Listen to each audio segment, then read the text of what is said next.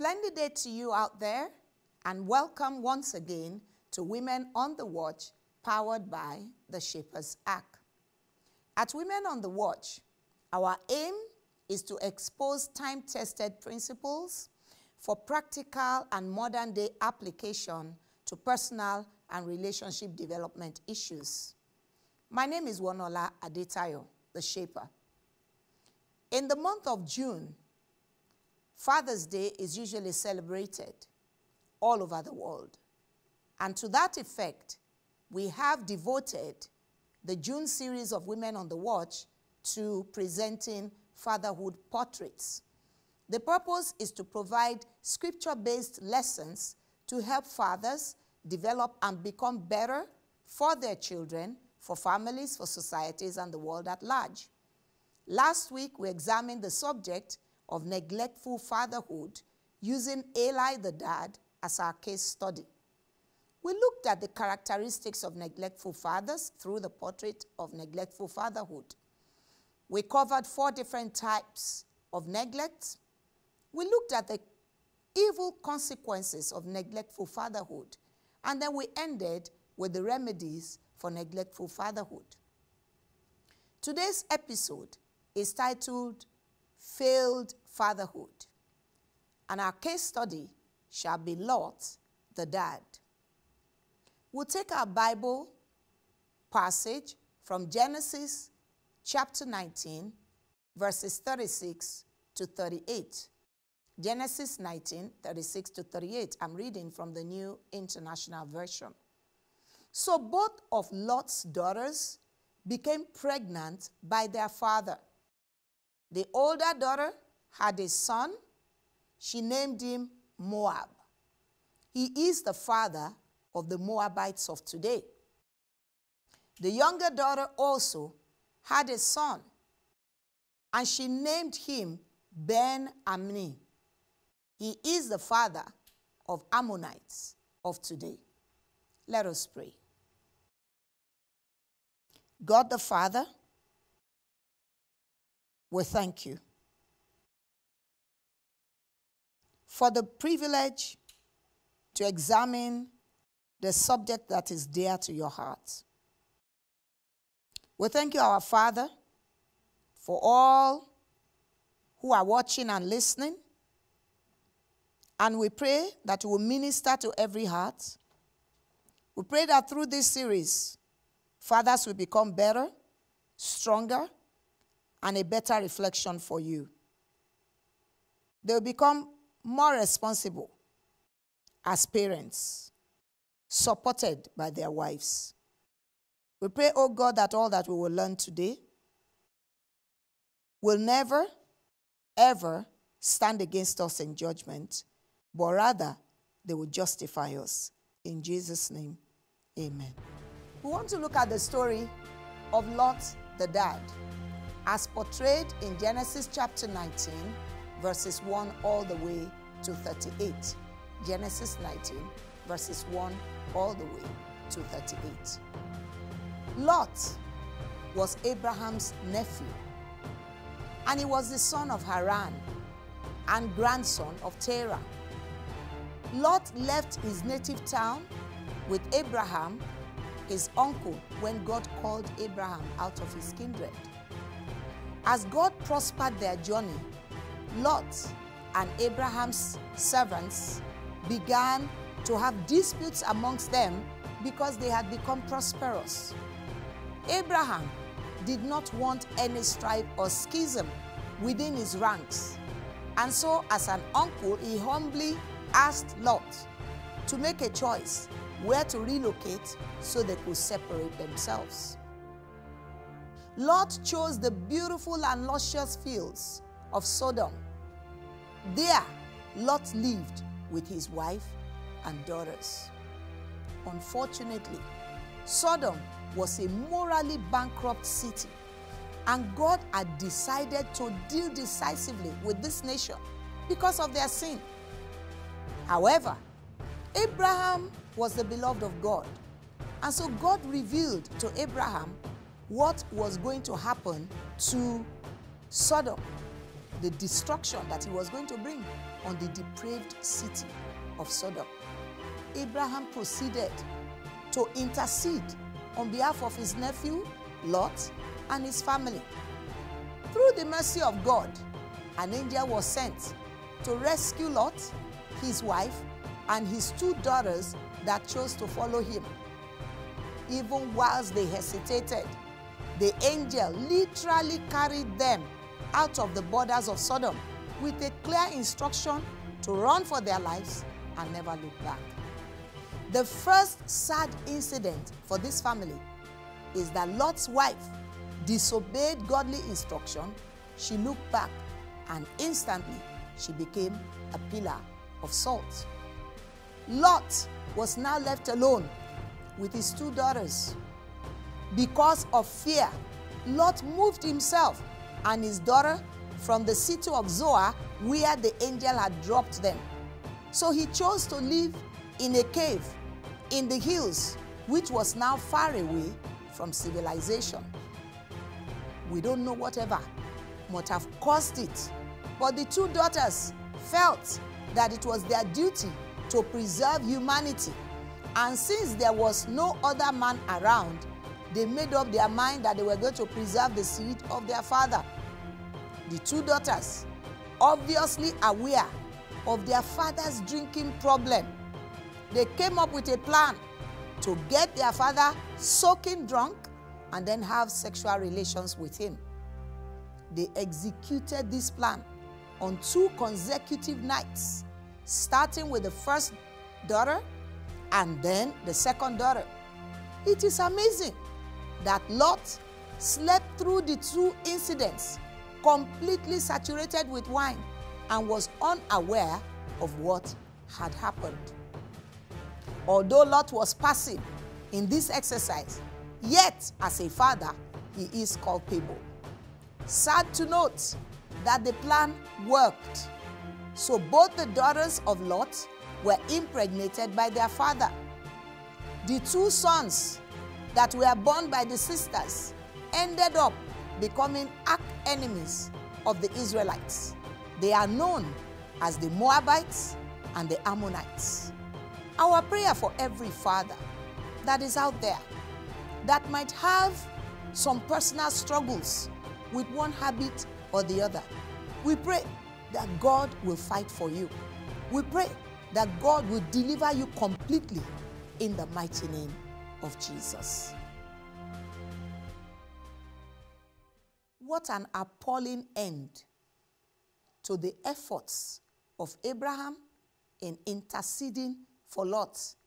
What an appalling end to the efforts of God who sent an angel to save this family from destruction. What a family legacy.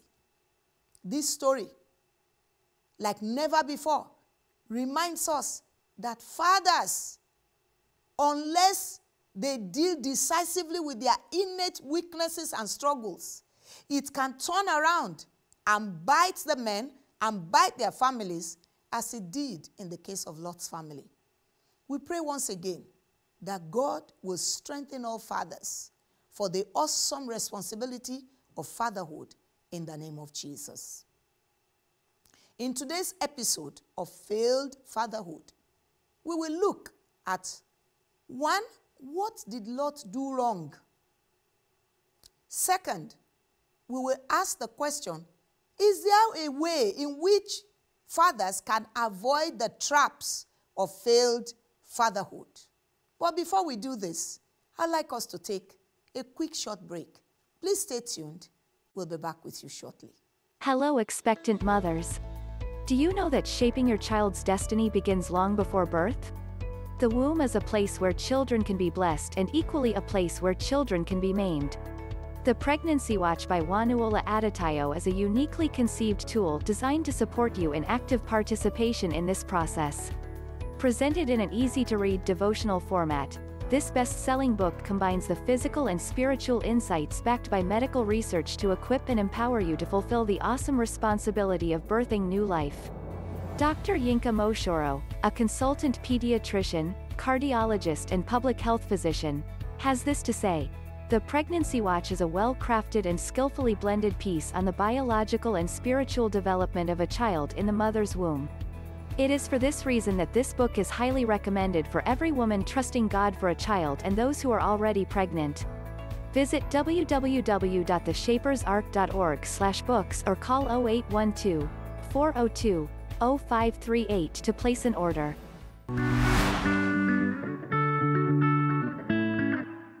The portrait of a failed father. Number one, look at Lot. Lot was selfish. In Genesis 13, 8 to 9, when Abraham, his uncle, who brought him on a journey, said to Lot, Make a choice. Lot said in his heart, as he looked, This is the best place. Rather than saying to his uncle, You are my uncle, you deserve the best. Lot decided, I will keep the best. So, in terms of a character failure, Lot had the problem of selfishness. He was self centered. Second, Lot made carnal choices that put his family at risk because he looked at the place, it was beautiful. So, since it was beautiful to the eyes, just like Eve, Eve looked at the apple, the apple seemed beautiful, and she decided against the instruction of God to eat that apple. Lord, Lot made a carnal choice that put his family at risk because in Genesis chapter 13, verse 12, he was attacked in Sodom. And it was still his uncle Abraham that came to rescue him. Genesis chapter 14, verses 4 and 12. So he made a carnal choice that put his family at risk.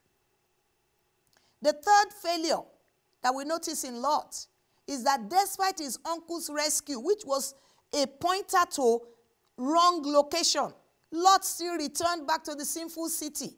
So Lot was greedy. He wanted good things. He couldn't separate, separate himself from good things even when it contained sin around it. Genesis chapter 14, verse 16. Despite the rescue, Lot returned back to the sinful city of Sodom. What else did Lot do wrong? Lot was so committed to protecting his own guests from sodomy that he offered his two virgin daughters. You see, it was more important for him to look after others that he was willing to give his own daughter for the people who wanted to commit sodomy. What else and where else did Lot fail? Lot was not taken seriously by his sons-in-law in Genesis 19:14. They didn't take him seriously, which means they have probably noticed the failed character. And so sometimes when we are like that, the children know when to ignore and, and know when not to take the, the, the man seriously. Now, the beauty of it is that in spite of all of Lot's character failures, of selfishness, of greed, of even poor choices. The Bible in 2 Peter chapter 2, verses 7 and 8, described Lot as righteous. Lot did not allow his daughters to be exposed to the sin of the city. So even though he dwelt in a sinful city, somehow he managed to protect his daughters from the sinful influence of his city and from the moral depravity that was happening in that society. And I suspect that that is why God's mercy chose to save Lot and his daughters from violent death in Sodom. Is there a way that fathers can avoid the trap of failed fatherhood? We want to take a look at some tips that fathers can adopt to avoid the trap of failed fatherhood. Number one, when a father seeks God's will in decision making and family choices, there's a very low chance of falling into error. We notice that Lot wasn't seeking the will of God as he made family choices. He wasn't seeking the will of God. The example that Jesus set for us, even in the Garden of Gethsemane, when that choice was difficult, Jesus said, Not my will, Lord, but your will. Peter also set us an example. He fished all night as a, as a wise fisherman. He knew it was nighttime. And in the morning, Jesus said, Throw your net, cast your net. He said, Nevertheless, at your word. So, we must learn that as fathers, as parents, seek God's will in decision making. And this example is shown to us by Joseph the carpenter. He followed strictly the directive when God sent an angel to him take your wife, take your child away and go to Egypt. And there you will be protected for some time until the king dies. Read the story in Matthew chapter 2, verses 13 to 15. So, to avoid the trap of failed fatherhood, please, please, and please seek the will of God in family decision making. The second way to avoid the trap of failed fatherhood is to honor leaders. Exodus 20:12 says, Honor thy father and thy mother, that thy days may be long upon the land which God giveth thee. Lot did not honor his uncle. Therefore, he chose what was better, which meant, Uncle, take what is not good. Ah. Lot did not follow Abraham's way. That's why he fell into drinking. How come a, a, a nephew of Abraham will be made completely drunk, so saturated drunk that he did not know two consecutive days of having carnal affairs with the daughters. Therefore, to avoid falling into the trap of fatherhood, I mean, uh, of failed fatherhood, fathers must learn the way by honoring. Lead the way. When the children see you, you honor your father, they will honor you as well. They will listen to you as well. The third way of avoiding the trap of failed fatherhood is to challenge the status quo. Don't get comfortable with discomfort. The Bible says in 2 Corinthians chapter 6, verse 17a, 2 Corinthians 6, 17a. Wherefore, come out from among them and be ye separate, saith the Lord. Lot should have left Sodom in the best interest of his family. He should have learned to trust God rather than clinging to familiar past. In fact, it was the clinging to the familiar past that made Lot's wife to become a pillar of salt. So the continued stay led to avoidable attacks on the family, and it led to the eventual loss of the daughters and the sons in law who stayed behind in Sodom. In fact, his wife also became a pillar of salt. And see, the daughters committed incestuous crimes. We must learn as fathers change the status quo. Don't get comfortable with discomfort. Another way of avoiding the trap of failed fatherhood is to deal decisively with our personal weaknesses. Matthew 5:30. Matthew 5:30. And if your right hand causes you to stumble, cut it off and throw it away. It is far better for you to lose one part of your body than for your whole body to go to hell. Lot should have dealt decisively with his drinking problem. If he had done that, there's no way his daughters could have manipulated him. There are fathers who smoke.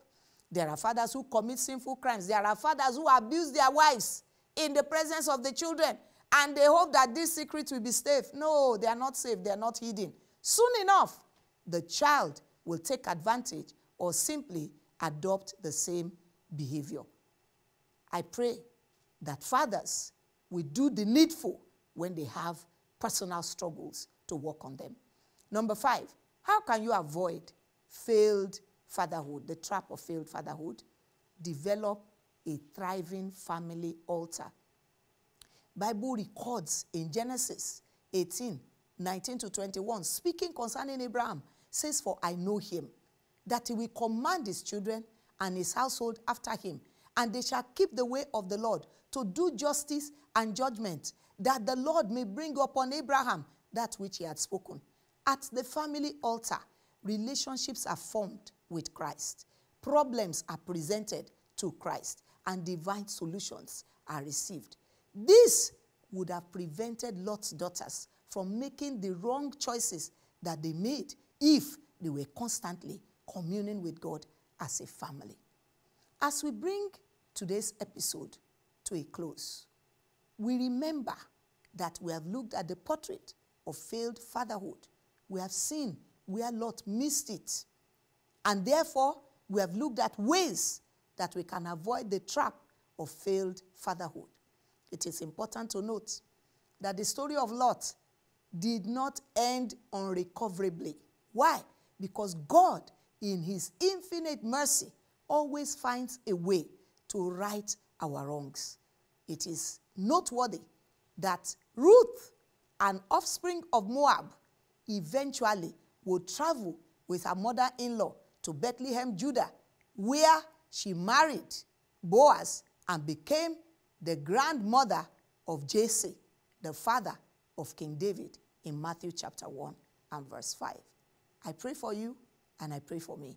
Just as Jesus will later be called the root of David in Revelations 22 16, that God will have mercy on all fathers and begin to right their wrong in the name of Jesus. It means there is hope for all fathers, no matter how far you are falling, no matter how lost you think the situation is, God's mercy will show up for you today. We pray for every father that is struggling at one addiction or the other, struggling with one personal frailty or the other, that God will turn your story to glory. God will turn your shame to fame in the mighty name of Jesus. Thank you so very much for joining us in this series of fatherhood. We continue the series next week. I beg of you, don't miss it at all, because then we'll be looking at devoted fathers. I look forward to seeing you there. Till I come your way again next week, this is Wonuola Adetayo, the Shaper. Shalom.